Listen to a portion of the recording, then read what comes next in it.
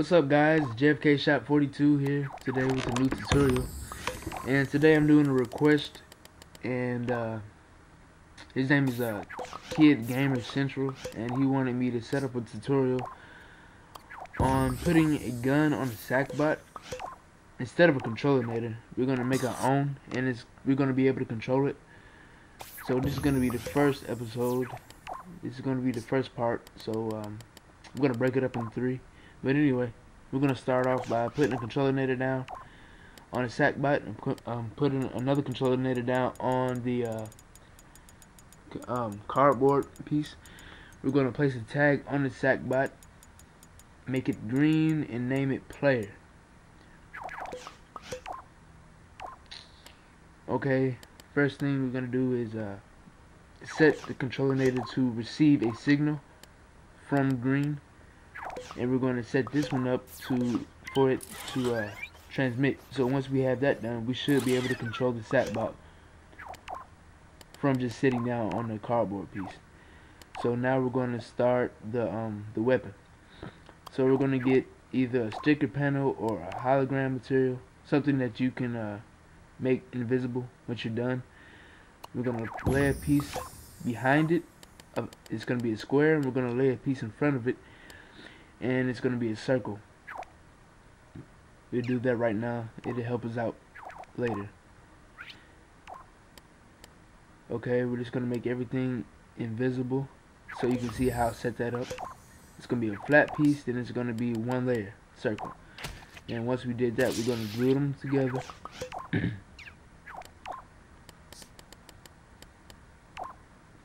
we're going to place a microchip on the flat piece the thin piece. Now we're going to place a controlinator and this this controlinator is going to be receiving a signal from green too. That's also going to be receiving a signal. We're going to get a uh, anti-gravity tweaker. And last but not least we're going to get a uh, a follower. We're just going to go ahead and um, juke this. So I'm going to make the maximum speed up to 100. I want it to follow. I want the acceleration to be up. I want the range to be um, complete. So we're going to make it green, but we're not going to pr press the player because I don't want it to follow the player. I just want to make sure everything works okay. Then I'm going to edit the follower to actually follow the player. Okay, first, now we're going to get a joystick and we're going to rotate it 90 degrees to the right. We're going to con connect the wires of the right stick up to up down to up down left right to left right. We're going to place the speed on uh, 1080. I mean, these are just my uh, these are my preferences, preferences on how to tweak the um, settings, but you can do whatever you want. You can make it suit you. And uh, I'm gonna uh, set the anti-gravity tweaker on 50%, and I'm just making sure it rotates right there.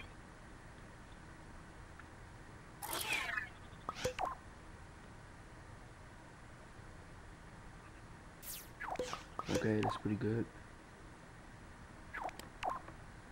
And now, once we have all that logic out of the way, we're going to actually use decorations to make the gun. And we're going to, we're using uh, sticker panel and hologram material because if the if the sackbot is going through an obstacle where where an actual gun can't fit, like a if you tried to make this out of wood, it might get caught on something. So I, I made it out of a uh, sticker panel and decorations things that that can actually go through obstacles. And I'm just gonna, you know, soup it up a little bit.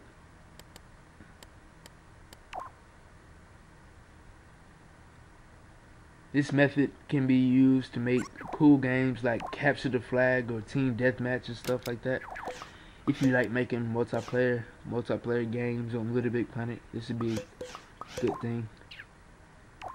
The Creatinator is good, but sometimes people want to do something different. Just like Kid Gamer Central. And I don't blame you because I tried to do this before too.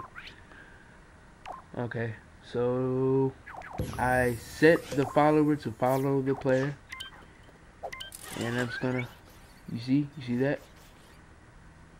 Looks pretty good. Looks pretty good. I didn't do it in the tutorial, but if you press the preview, it'll make the sticker panel disappear. And it'll be all nice and clean for you. And what's the point of having a gun if you can't shoot it? So what we're gonna do is just uh, set up emitter down. I'm gonna use an old bullet that I did before. And I'm just gonna place it where I want it to be shot out at. Do some settings.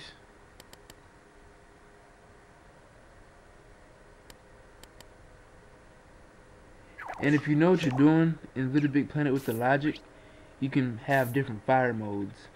It's gonna uh, go on the gun logic controlinator and hook up the R1 button to it.